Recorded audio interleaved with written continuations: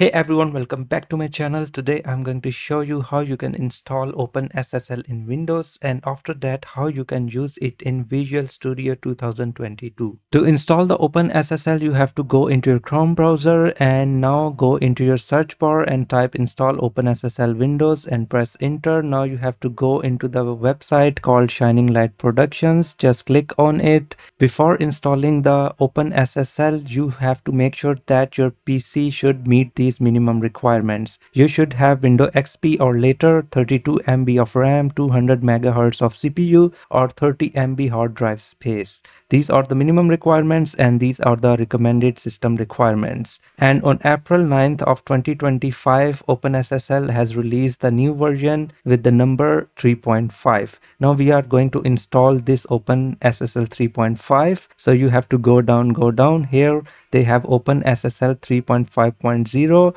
and now we are going to install it for the 64-bit operating system. You can either install it through the exe file or the MSI file. Now in order to download the OpenSSL, you have to click on this exe. It will automatically start this download here. After downloading, in order to install the OpenSSL, you have to click on this file.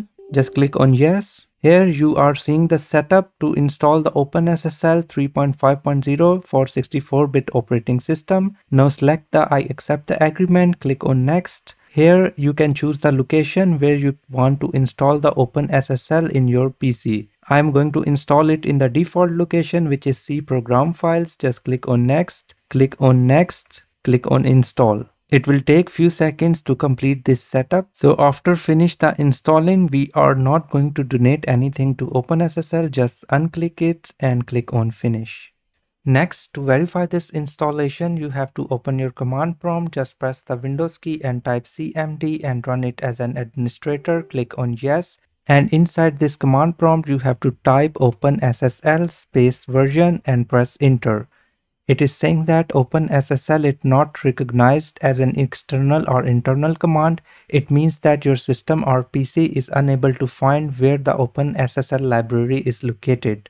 So to fix this, you have to go into the location where you have installed your OpenSSL library.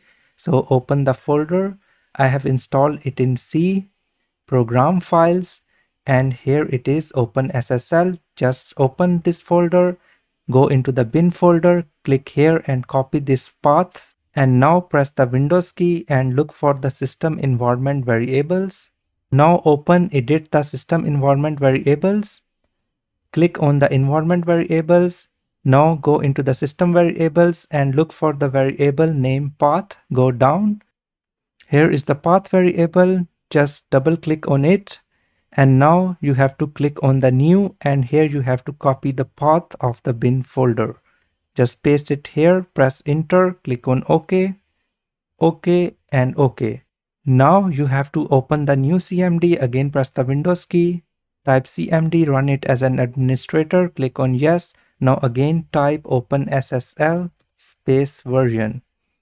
And now you can see that this time our PC is able to find where our OpenSSL library is located. Here you can see that we have installed the OpenSSL version 3.5.0 which was released on 8th of April 2025. Now we will see how we can use the OpenSSL library inside Visual Studio 2022. To open the Visual Studio, just press the window key and look for the Visual Studio, press enter. Now we are going to create a new project. Just click on it, select the empty project, click on next. Here you can give the name to your project. So I'm going to give the name OpenSSL test now our project is created. Next, we are going to create a CPP file inside this project. So just go here, select the source files, right click on it, select add, click on new item. And here you have to name your CPP file. So I'm going to add the CPP file with the name of test.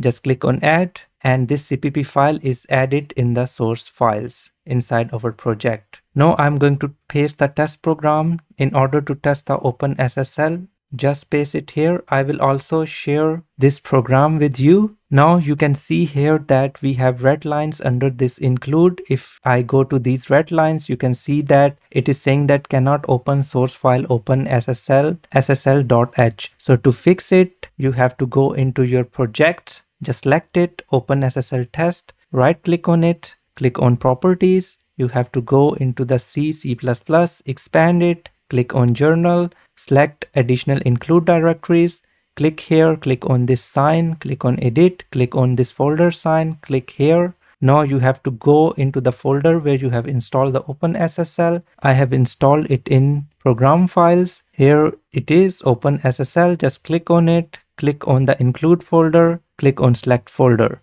click on OK. Next, after including the include folder, you have to go into the linker, expand it, click on again journal and look for the additional library directories.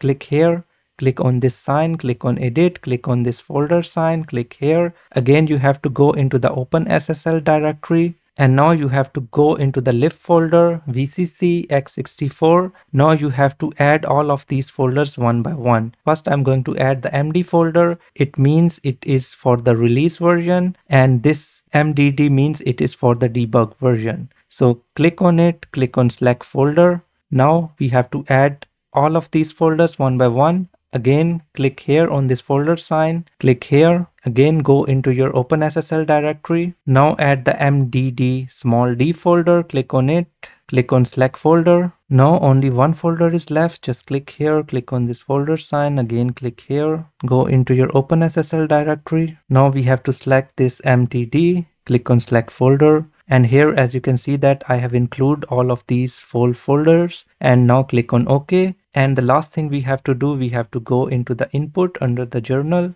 and you have to click here additional dependencies. Click here click on this sign click on edit. And you have to include two libraries here. The first one is lib ssl.lib press enter. And the next one is libcrypto.lib click on ok apply. Okay as you can see that all the red marks are gone. Now if i will run my program and here you can see the output OpenSSL initialized successfully what we have printed here. So this is how you can use the OpenSSL inside Visual Studio. So if you want to create the project in the release mode change it from here release mode. Now you can see that again all these errors are appeared. Because for the release mode you have to separately again do all the steps in order to link this library with your project. Uh, this is it for today. I hope you have liked this tutorial. So don't forget to subscribe and press the bell icon to get the notifications of the new uploads.